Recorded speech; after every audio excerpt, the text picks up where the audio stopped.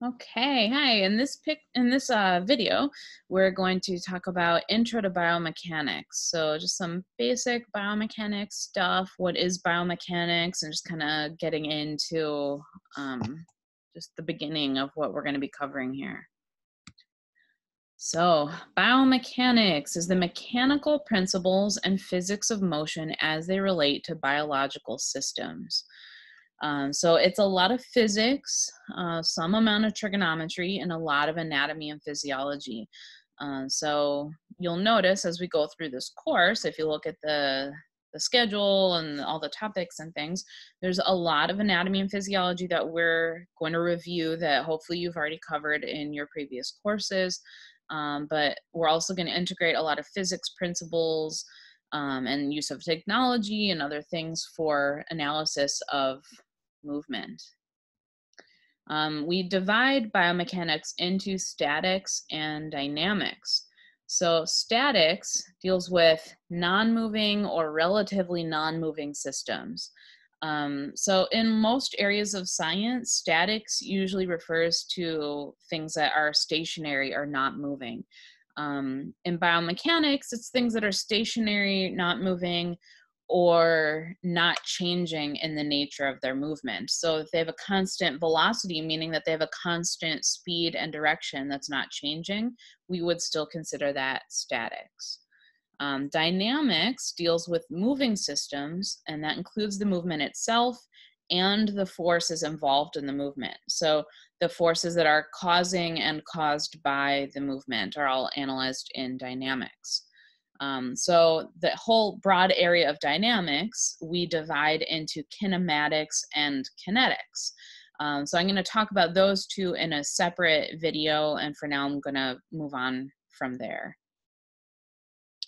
Okay, kinesiology is the study of human movement. Now, this is a very broad subject that includes biomechanics and lots of other things under its umbrella. Um, so it's the study of human movement, which is very broad and can include many different aspects of movement. So there's the biomechanics of it, where we analyze the actual joint movements and forces and things like that.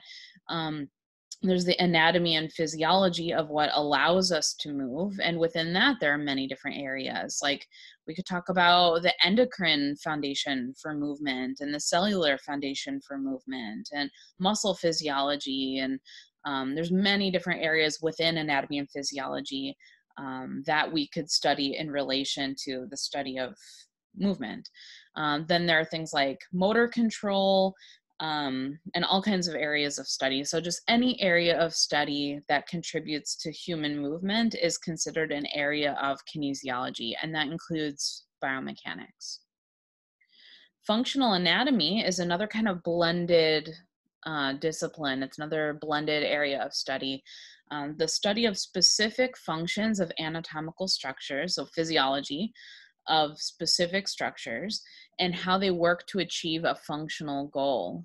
Um, so it's like an anatomy and physiology study of movement but in a more functional goal oriented sense so instead of like like here's this muscle and here are the functions it performs.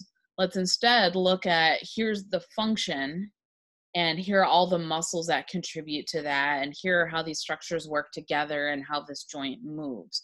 So it's a more kind of holistic functional view of movement um, with regard to how the structures work together to create that movement. Um, so that's kind of an area of both anatomy and physiology and biomechanics. Uh, so we do specifically cover functional anatomy later in this course. If you look ahead in the schedule, um, we'll cover functional anatomy of the upper extremity, lower extremity, and trunk. And so that's where we get into some deeper um, anatomy and physiology of our joints and look at how things work together. Okay, so center of mass, that is important to understand in biomechanics. Um, center of mass is where we have a concentration of the effects of gravity. Um, so we talk a lot about center of mass as we go through different equations and work on different problems. Uh, so if we take um, all three cardinal planes and each one goes through us to create equal left and right, equal in mass, then where all three join in the center of the body is the center of mass. So if the sagittal plane cuts through you, so you have equal left and right, um, the transverse plane cuts through you, so you have equal superior and inferior, and then coronal plane passes through you, so you have equal anterior and posterior sides, and again, equal in mass. Then the precise point where all three planes um, bisect you would be your center of mass. Um, so we can find the center of mass of anything. So the whole body, um, it would look like what we see in this picture, but you could also talk about the center of mass of one segment, like the forearm or the upper extremity or you know whatever it is that we're trying to find. Um, so in that case, you would just take the three planes and equally um, bisect with equal mass on each side, and that would find the center of mass. Okay, so it represents the location of the average mass of the system. Um, and that's also where the concentration of the effects of gravity will be because that's where the average mass of the system is located. All right, the Cartesian coordinate frame of reference. So we use this constantly through all of biomechanics. So it's important to have a good foundation and, and to understand where we're starting with here. Um, so Cartesian coordinate frame of reference, we're talking about um, this kind of standard frame of reference that you've probably seen many times in your math classes that include the X, Y, and Z axes. Uh, so when we talked about axis of rotation, um, I think in lecture one, um, we mentioned these briefly, but now we're going to talk about it from the X, Y, and Z axis perspective as opposed to the um, movement perspective. So in a Cartesian coordinate frame of reference, 0, 0, 0 is the origin. That would be the center of mass in this frame of reference. Um, the x-axis is the same as the medial lateral axis, so the one going in this direction in the medial lateral direction. Um, and positive side is pointing to the right. And again, that's the anatomical right, so the person's right is the positive direction. Uh, y-axis, straight up and down, superior-inferior axis with the positive pointing up. And the z-axis, the anterior, anterior-posterior axis pointing straight out, uh, where the positive is pointing forward. Uh, so a frame of reference can also be defined locally with the origin occurring somewhere else.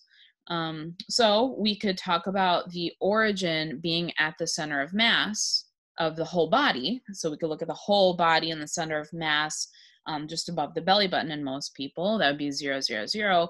Or maybe um, the system that we're analyzing is just the glenohumeral joint. Maybe we're just looking at the movement of the ball and socket of the shoulder, in which case we could define the origin zero, zero, zero as being the center of that joint um, or the center of mass of a segment. You know we can define it however we want. It's all relative. Uh, so it depends on what we're studying but we would put our frame of reference wherever makes sense for the thing that we're studying Okay, degrees of freedom. Uh, so you'll hear this term used in lots of different areas of science. Uh, it's referring to the number of variables or parameters that may vary in a system. Um, so that could be uh, the number of participants in a study. That could be the number of parameters that we change when we conduct a study. Uh, in the case of biomechanics, what we're talking about uh, is the number of ways a system can move. Um, or the number of ways that the motion needs to be described. So degrees of freedom, we could talk about the the number of degrees of freedom of each individual joint, at each individual segment of the whole system. Um, so there are lots of ways that we can talk about degrees of freedom. So a freely moving segment has six degrees of freedom. So the maximum number of degrees of freedom that a segment can have at a joint would be six. Um, because that's movement in each direction in each of three planes of motion. Um, and that would include all of the action that can happen in between those three planes of motion. So there isn't more than that. There isn't a fourth plane of motion. There are only three, and we can only move in each direction within each plane of motion. Okay, so for example, the glenohumeral joint, you know, it's an easy one, so I keep using it. Um, but the glenohumeral joint can move in three planes. It's triaxial. Um, so that means that we have six degrees of freedom in that joint um, because we can move in the flexion extension direction, we can do add and abduction, and we can do internal and external rotation. Um, so that's two movements in each of three planes, that's six degrees of freedom. So that's the maximum that we can have. Um, and then if we're looking at a whole, like the whole limb, we can add that six plus the motion of the elbow. Um, so let's think about how many degrees of freedom we have in the elbow. We can do flexion and extension and pronation and supination. So of the whole elbow complex entirely, including all three of its joints, we would have four degrees of freedom at the elbow. So if we're adding up our degrees of freedom of the shoulder or just of the glenohumeral joint and the elbow, altogether we have 10 so far. Um, and so that doesn't include motion of the scapula or motion at the wrist. So far, we're just talking about degrees of freedom of only those two, the glenohumeral and then the elbow complex. So we can add the degrees of freedom of each segment to find the degrees of freedom of the whole kinetic chain. If I wanted to add the degrees of freedom of the entire upper extremity, I would be here for a while counting because uh, I'd have to include scapulothoracic joint, uh, glenohumeral joint, the whole elbow complex, and then all of the many joints that we talked about in the wrist and the hand. Um, so that's a lot of different joints, and we would add up all the degrees of freedom of all of those different joints to find the total degrees of freedom of the entire chain. Um, so mobility is the number of degrees of freedom of the whole chain. So if we wanted to quantify the mobility of my whole upper extremity, we would do that by adding up, counting all of those degrees of freedom of all the different joints that make up my whole upper extremity and that number of degrees of freedom is how we quantify the total mobility. Okay, a free body diagram uh, is a simple representation of the movement permitted by a system. Uh, it shows the external forces acting on the body and the internal forces acting on the body. Whoops.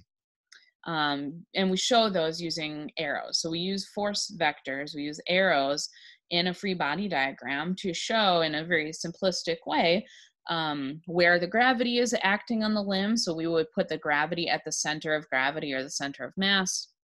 Uh, we can use them to show friction.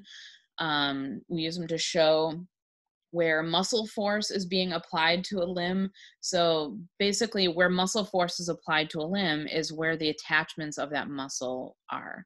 So, like in that picture you see on the left, where we see biceps, um, and then you see that upward pointing force vector that's showing when the bicep contracts and produces force, its vector, the force vector, is in an upward direction where the muscle is shortening and pulling up um, from where its insertion is on the radius in the upward direction. So uh, the force vectors of the muscle forces are going to be applied to the segment or to the limb where they attach to the bones. Um, and then we can also show a joint reaction forces, ground reaction forces, all any forces that we want to show all go into this free body diagram so that we get a good sense of all of the forces acting on the segment so that we can figure out what type of lever system it is, where's the mechanical advantage, um, and so on. And we'll get into all of that later on. Uh, so we use a lot of free body diagrams in this class, so make sure you are familiar and understand kind of how to interpret and what, what all these arrows and things mean. Okay, so that's all I have for you for this video, and I'll see you in the next one. Bye.